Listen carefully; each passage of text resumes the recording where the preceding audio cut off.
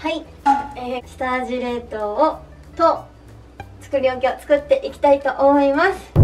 では今日今日はハヤシライスを電気圧力鍋で作りながらいろいろやっていきたいと思います。ハヤシライスに、えー、必要なのが、まあ、マッシュルームですね。マッシュルームを切っていきたいと思います。はいマッシュルームを切っていきます。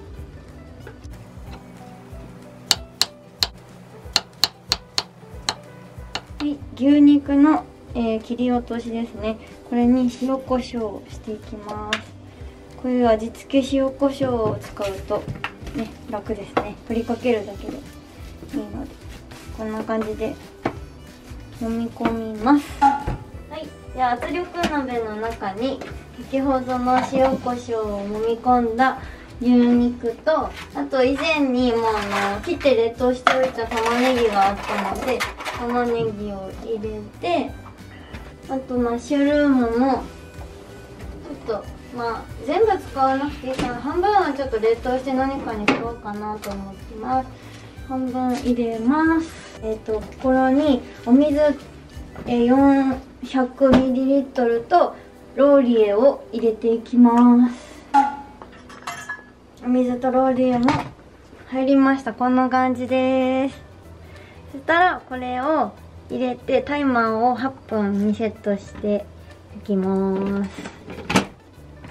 えまた、え大根またちょっとおきいただいたのでこの大根をまた切っていきたいと思います。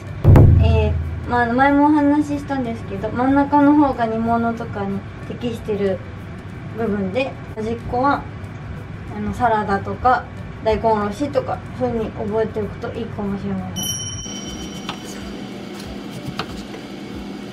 はい。えー、ちょっと切る途中なんですけどお湯が沸騰したので穴開けて卵の穴開け器で穴を開けて皮をむきやすくしてから、えー、ゆで卵を作っていきたいと思いますはいこれは割れないようにお玉です優しく入れますはいえー、これ大根おろしをフードプロセッサーでやりたいと思います。パーに移していきます。はいじゃあ今度は唐揚げ用のお肉を切っていきたいと思います。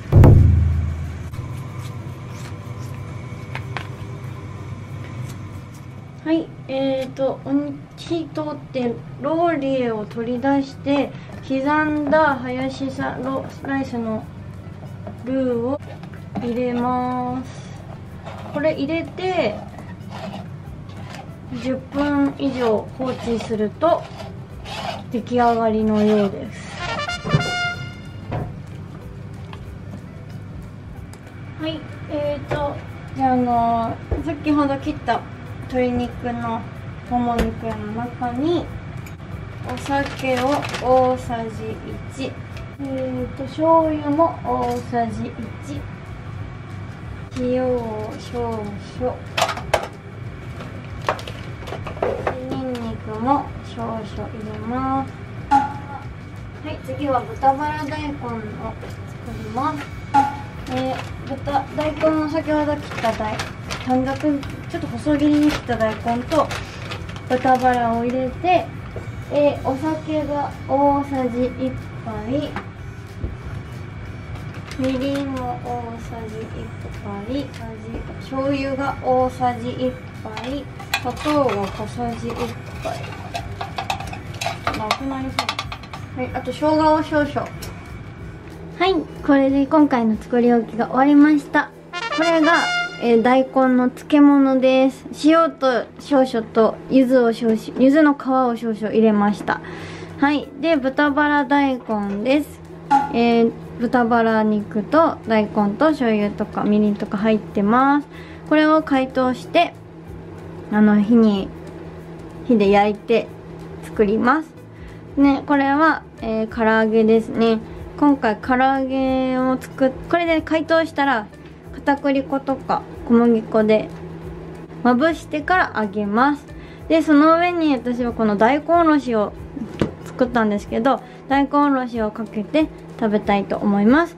でこれは大根サラダとかにお味噌汁とかに使おうかなと思って細く切った大根です。でこれはあのマッシュルームの余りですね。これも冷凍して何かに使います。これはえー、味玉ですね。つけめんつゆにつけておくだけです。はい。はい。えーとこちらはハヤシライスですね。こんな感じで圧力鍋でできました。ほっとくだけでここまでできてすごいですね。はい。とても楽です。今回はこちらで以上になります。ご視聴ありがとうございました